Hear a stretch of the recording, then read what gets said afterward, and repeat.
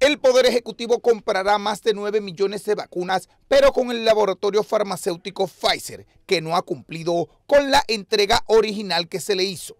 Por eso los diputados del Partido de la Liberación Dominicana votaron en contra de ese acuerdo con esa farmacéutica. Sin embargo, los senadores peledeístas en la semana pasada hicieron lo contrario y aprobaron ese mismo contrato. El PLD está a favor de la vacunación. Lo que no está a favor es aprobar un contrato que irrita al pueblo dominicano. Aprobar un contrato en el cual ellos no pueden ser demandados aprobar un contrato en que la Pfizer no se sabe en qué momento puede proveer de la vacuna al pueblo dominicano. De eso es lo que se trata. El Partido Revolucionario Moderno afirma que el PLD quiere boicotear el proceso de vacunación.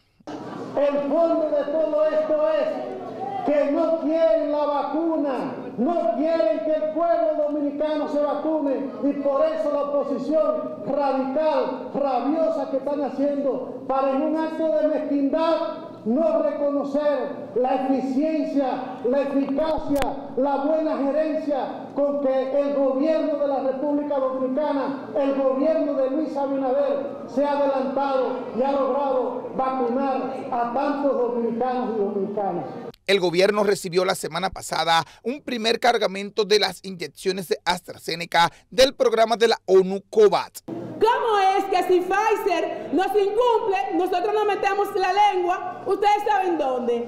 ¿Cómo es que si Pfizer dice, ok, hoy estamos a 17, hoy estamos a 17 y tenemos que pagarle 5 días antes y nosotros le pagamos? Y si Pfizer le da su regalada manda su vacuna a papá nomás y nosotros Ay, no ponemos la lengua otra vez donde ustedes saben dónde. El programa de inoculación del gobierno se ha llevado a cabo con vacunas chinas del laboratorio Sinovac. Para Noticentro, Julio Caraballo.